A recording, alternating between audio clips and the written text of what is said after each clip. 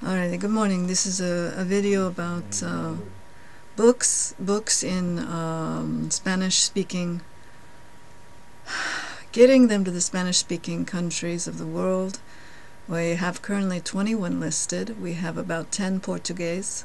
So that's about 30, 30 countries in the world that do not have free um, donated books from America sent there delivered explicitly to the schools. When I say the schools, to their to their libraries, to their to the universities even. So we're talking little children, uh, little children's schools, all the way up to um, the uh, the university level.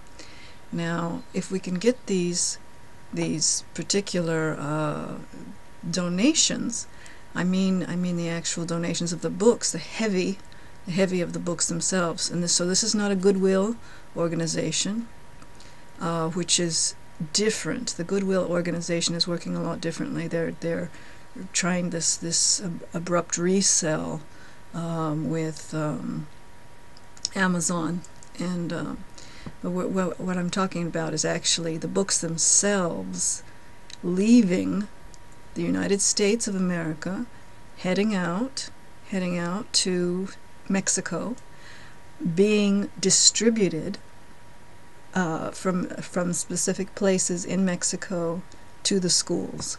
So when you do that type of organization, it's a huge nonprofit, uh, a huge nonprofit, and so it needs a, a good catching name like um, uh, what do we call it? Uh, a good catching name, uh, you know, English in Mexico or something, something like that. But in in Spanish, it's, it can't be English in Mexico, can it? It has to be something more like las escuelas. excuse me, I'm not very good with my Spanish. Uh, las escuelas en, en Mexico. So the schools in Mexico. So it's going to be something delivered from here in the United States, donations, uh, book donations. Now we're like, well wait, I, you know, not from my house, not from your house, maybe not that way. Instead, I'm thinking of any leftovers. When we have leftovers like at Amazon, a lot of people, they, they send their books off to this, this fulfillment center and they don't even want them back. And so I'm imagining uh, that pickup. We can pick up from Amazon's fulfillment center when they have not sold those books. That would be wonderful, a wonderful donation for Amazon also to coordinate with us. So we can have have the the the free give instead of them just giving them to Goodwill and selling them for a penny online uh, or a dollar or whatever, we would actually get them to a new location, a source of, for learning. Okay, so the big drama is is the distribu- distribution, and then obviously because it's a nonprofit, the advertising. So you have you have the new organization, and then you have the advertising aspect of it, which is um, I guess mailers. Will be mailers uh, specifically sent to the, the middle age to the senior sector group of people. And and and that those mailers you know just a small whatever check or whatever to the organization of English English in Mexico. We're going to have to call it Mexico first because I believe Mexico being so close to us will benefit from its its um, absolutely benefit.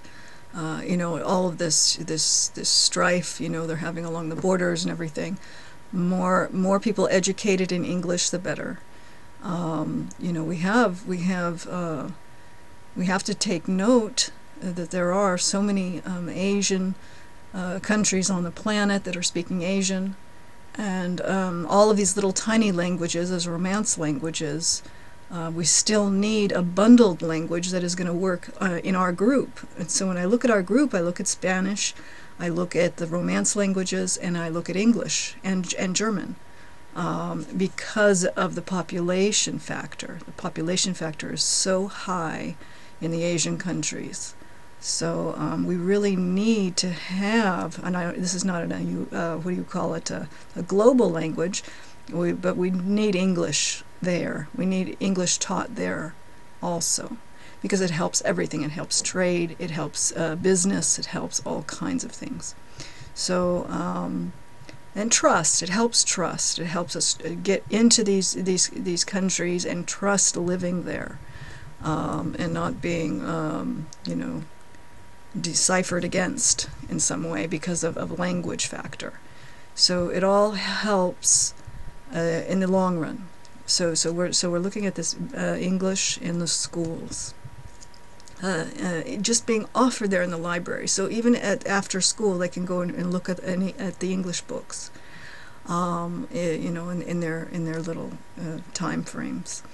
So um, so that's where where I'm at with it. I I guess uh, las escuelas, if I did that right, las escuelas in Mexico, um, or, or English uh, English to Mexico. There's another one I came up with that was kind of cute. Was um, uh, or, but I can't think really cute uh, gidgety names right now. I'm sorry.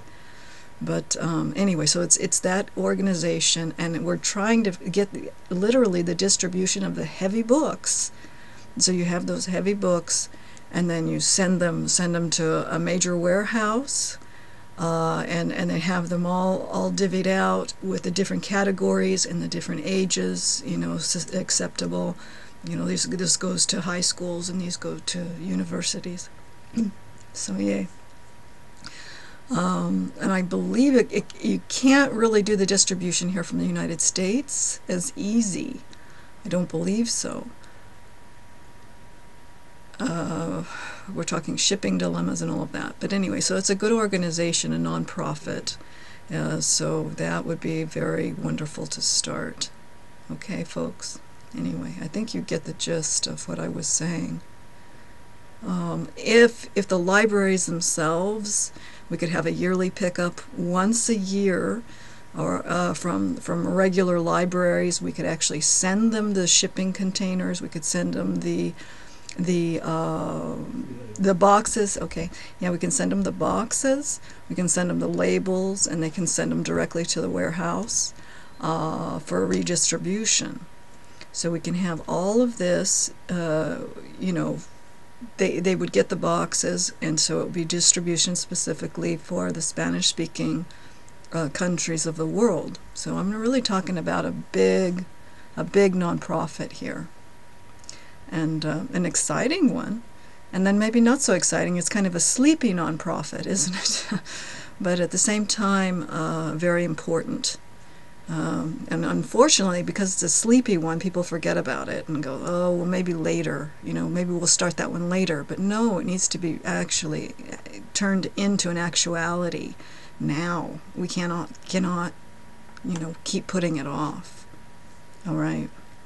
So, so yeah, I like the idea of, of using the library books. I know they sell them at their little, uh, you know, end of the year sales also but I like the idea of them gifting to to uh, Mexico and gifting to Brazil, gifting to Chile and, and to Argentina. I love this idea. Um, it's it's absolutely uh, you know going to help this rift when when they when uh, we have people resettle here. It's going to help the rift. You know what I'm saying? If, if they're, you know, wide-eyed and bushy-tailed, then they've already read Dr. Seuss. Do you understand? In English. It's very exciting. Um, it helps out.